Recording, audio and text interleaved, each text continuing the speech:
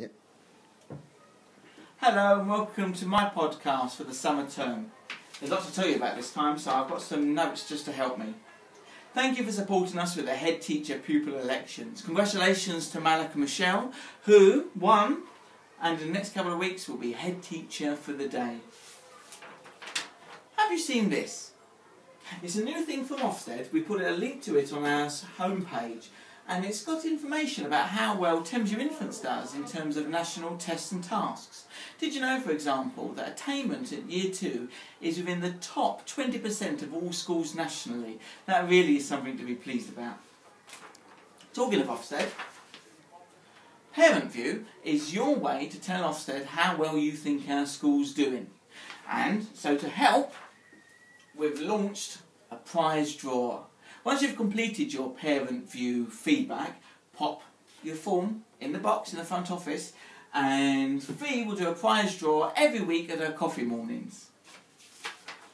We really do want every child and their family to do their best at Thames View Infants. So be warned, in the next couple of weeks there'll be important tests and tasks for our Year 1 and Year 2 pupils. If you need more information about these, and you didn't get a chance to come along to the meetings, please see your child's teacher or catch me and we'll see what we can do to help.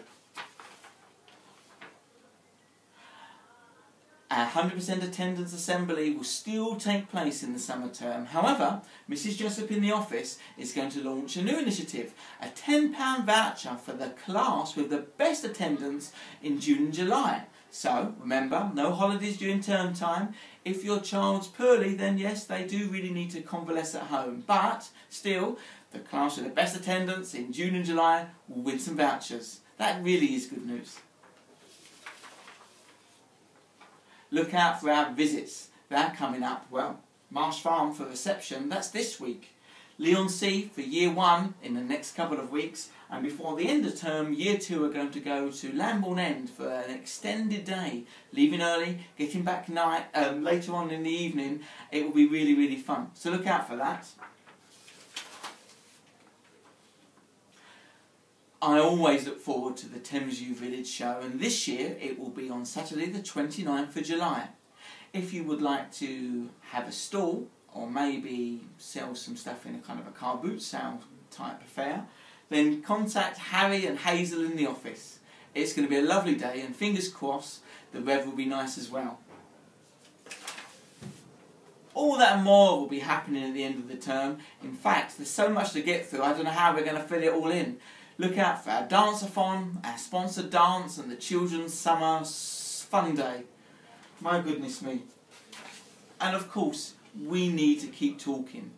Thames View Infants remains a vibrant, busy, learning place. But it's never too busy for us to talk.